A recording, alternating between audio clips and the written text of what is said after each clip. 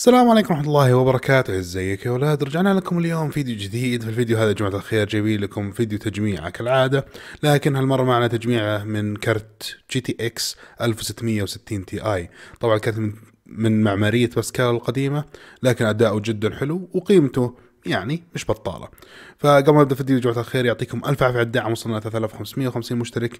دعم جدا قوي منكم يعطيكم ألف عافية والله كلكم على راسي ويعطيكم العافية صراحة. كل من دعمنا ونشر الفيديو واللي كتب لي كلام حلو على الخاص أو على في الوصف. آه يعني شكرا لكم جميعا. وقبل ما نبدأ الفيديو جماعة الخير أنا زي ما قلت لكم عندنا group لل PC اللي بيدخل راح اياه والله موجود كم مقعد أو في مكان. واللي بيجمع له PC آه، اركب له مع التركيب والويندوز وشغل إن شاء الله top ال top يتواصل معي ويبشر بالخير إن شاء الله. التواصل راح يكون عن طريق الانستغرام راح أحط لكم انستغرام وقناه تحت. فما بيطول الفيديو جماعة الخير أدري إني طولت أه وأخليكم مع التجميعه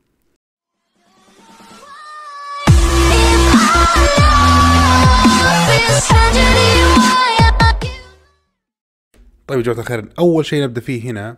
عندنا ال Intel Core i5 8400 آه قيمته جدا حلوة يا جماعة الخير ومعروف من معالجة الانتل اللي يعني له غالي ولا هو رخيص. لو نختار ال 5 8500 ما راح يكون يعني شوف شوف الفرق بينهم. قيمته تقريبا قيمة اي 7 هذه. لأنه جيل ثامن طبعا ومنقطوع الجيل الثامن. لكن أنا اللي أشوفه إن الآي 5 8400 قيمته جدا معقولة ب 788 مع الضريبة جدا معقولة. آه وبرضه في عندنا هنا جماعة الخير اللي هو كرت من زوتك ال gaming آه ال GTX 1660 Ti من يعني جدا ممتاز قيمته قيمته 1103 شحن مجاني. آه طبعا شركة زوتك معروفة. تبريدها كويس مش بطالة مش ما هي الأفضل وما هي الأسوأ. يعني تقريبا زي ما نقول مقارنة زي جيجا بايت آه يعني في عندها أشياء حلوة. ونجي جماعة الخير عندنا هنا ال motherboard من MSI ال B360-A Pro تعتبر من ال mid range آه يعني فيه motherboard ما هي الأفضل فئة ال Z أفضل منها. لكن بما إن المعالج عندنا لا يقبل كسر السرعة جماعة الخير راح ناخذ ال motherboard هذه. طبعا ال motherboard جدا ممتازة عن طريق MSI عندهم نظام آه، ال BIOS جدا ممتاز. برضو نظام ال RGB عندهم جدا حلو. وعندنا الرامات هنا يا جماعة الخير من G.Skill اللي هي آه، ال Ripjaws ال V series 16 جيجا.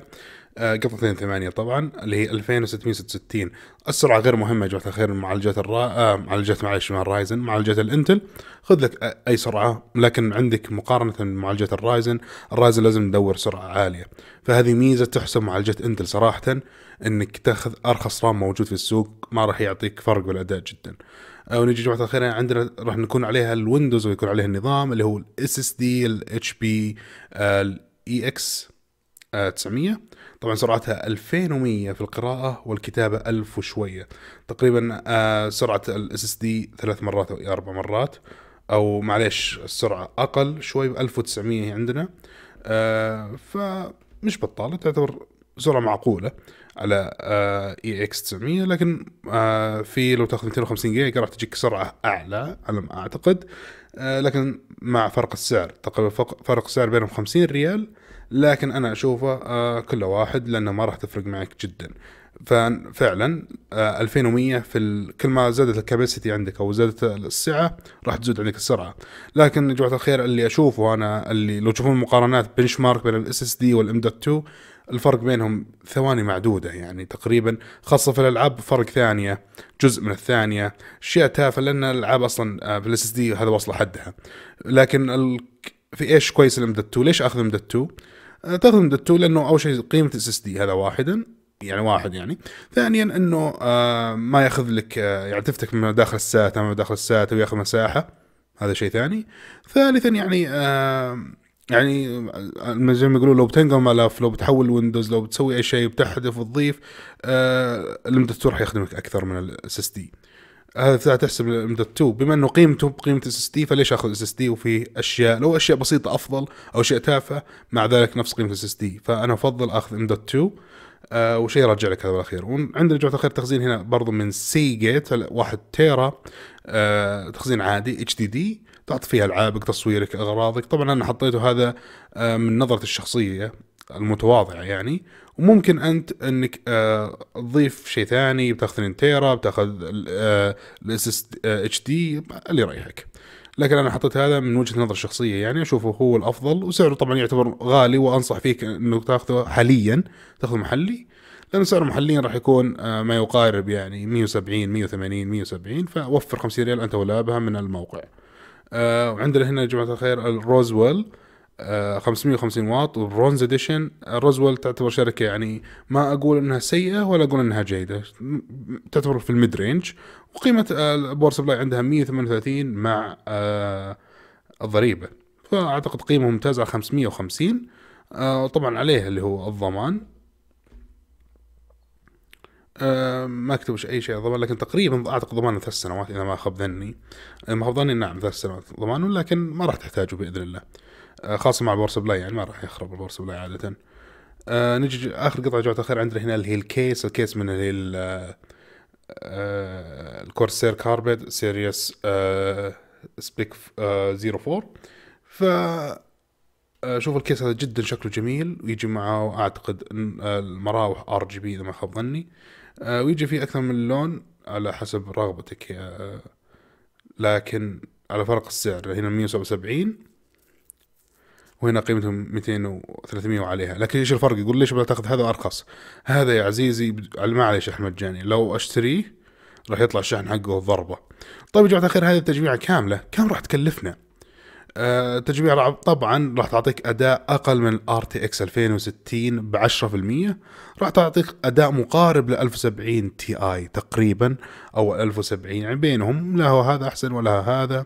لكن ال RTX 2060 أفضل منه زي ما نقول 10% الأداء. إذا أنت ما تشوف أني أدفع زيادة 300 ريال على 10% هذا شيء راجع لك. لكن في ناس تقول والله هذا ما يسوى الكرت.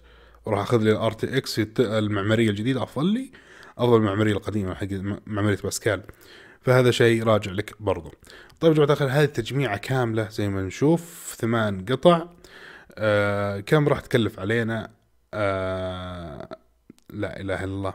يعني طبعا مع الشحن مع الضريبة مع كل حاجة راح تكلف علينا 3350 وانت إيش رايك هل هل ترى يعني انك تاخذ التجميعه هذه أو إنك تزيدها مثلا 700 ريال أو 600 ريال وتأخذ تجميعه مع RTX 2060 أنا بالنسبة لي أشوف إن التجميع جدا كافيه للي بيدخل عالم ال PC جديد ولا يبغى يشتري كرت 1060 مثلا أو RX من AMD.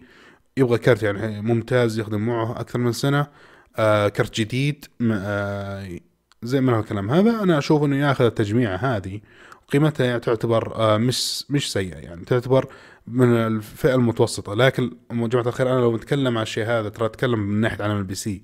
لكن لو نتكلم عن ناحية ال console ترى أفضل من console بواجد.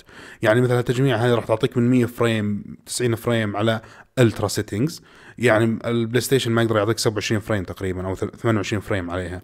فهذا أفضل من PlayStation تقريبا مرتين أو ثلاث مرات. لكن أنا أتكلم بشكل عام عن ناحية أن التجميعه هذه أو الأشياء هذه نقارنها بعالم ال PC يعني مثلا لو هذا نقارنها بالجيل الثامن من مثلا معالجة آه مثلا آه Intel لو نأخذ مثلا i 7 نقول لا هنا ال i 7 متفوق. لو نأخذ مثلا الكرت اللي نقول 2080 Ti فرق عن هذا هذا أتكلم عنه. لكن من ناحية console هذا أفضل من ال console يعني بواجد. يعني تدفع 3300 وأنت تاخذ شيء أفضل من ال console يعني مراحل. آه هذا اللي أقصده أنا. فجماعة الخير كان معكم باسم من قناة سوكا ولا بيطول المقطع القصير يعطيكم ألف عافية آه على المشاهدة ويعطيكم ألف عافية على الدعم. وإن شاء الله ما تقصرون معنا وراح تدعمونا أكثر وأكثر وإحنا راح إن شاء الله بإذن الله يعني آه راح نستمر. آه شكرا لكم على حبكم وعلى تواصلكم معنا. كان معكم باسم قناة سوكا سبحانك اللهم وبحمدك أشهد أن لا إله إلا أنت أستغفرك وأتوب إليك. والسلام عليكم.